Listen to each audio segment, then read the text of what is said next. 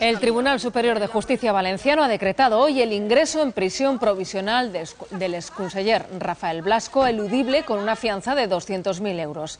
El tribunal da un plazo de 48 horas a Blasco para depositar esa fianza y le prohíbe en todo este tiempo salir del país.